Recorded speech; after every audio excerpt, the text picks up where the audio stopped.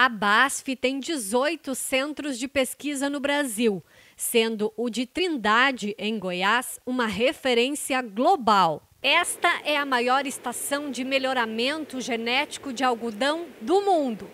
Em casas de vegetação como essa, são desenvolvidas novas variedades, que levam de 12 a 15 anos para entrarem no mercado. Elas recebem características de biotecnologia que asseguram produtividade e qualidade da fibra. Aqui são melhoradas as sementes Fiber Max, com inserção de quatro biotecnologias de resistência à lagarta e tolerância a herbicidas 35 novas variedades estão em desenvolvimento. No outro laboratório, a soja recebe testes de resistência de variedades antes de ir para o campo e cada planta recebe linhagens para produzir ao longo de dois anos e eliminar as resistências, com testes de nematóide e ferrugem asiática. Na qualidade, são testados potencial de pureza, germinação e vigor, também simulando o campo. Que a gente costuma falar é que cada ano é um ano e que nós precisamos ter diferentes soluções para resolver esses problemas e essas dificuldades que o produtor brasileiro enfrenta. Esse é o nosso compromisso. O Brasil é um dos principais mercados para a marca no mundo. Por isso, o planejamento para a próxima década é de lançar pelo menos 30 novos produtos. Entre as tecnologias, soluções para proteção de cultivos e novas variedades de soja e de algodão. Líderes globais da empresa anunciaram que devem ser pelo menos 30 variedades de algodão e 80 de soja além de 28 protetores de cultivos, como uma tecnologia para combate à ferrugem asiática. O desempenho biológico é muito mais forte que, que as moléculas anteriores.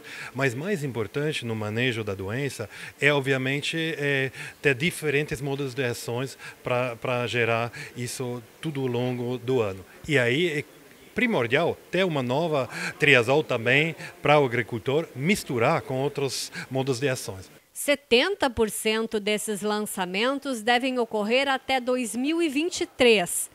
Com a aquisição dos ativos da Bayer, a BASF passou a agregar novos negócios, como sementes, por exemplo.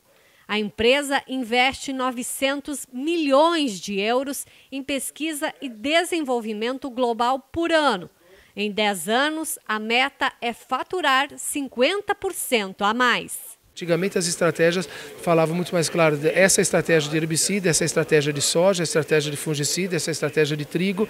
Hoje não, nós falamos da estratégia pensando no sistema produtivo do agricultor. Se ele faz uma sucessão de cultivos de soja e trigo, ou soja e milho, ou de soja e algodão, nós estamos tendo uh, o desenvolvimento dessa estratégia pensando nas necessidades que ele tem para este ciclo produtivo, olhando de forma holística as necessidades dele na propriedade e aí combinando as tecnologias para que ele tenha a melhor opção de manejo integrado para uma maior produtividade. Com o agronegócio respondendo por 22% do PIB brasileiro, a BASF observa produzir mais com menos área e sustentabilidade, além de comunicar o agro de forma correta para a sociedade como os grandes desafios da década.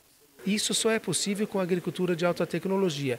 O tema é que a agricultura é uma solução para os problemas da humanidade e da forma como ela tem sido comunicada, as pessoas entendem ser um problema. Nós brasileiros, que somos um país agro, somos todos agro, dependemos economicamente do agro, teríamos que ter muito mais orgulho do que fazemos do que acreditar em muitas notícias que nos fazem ver um lado errado que não é verídico.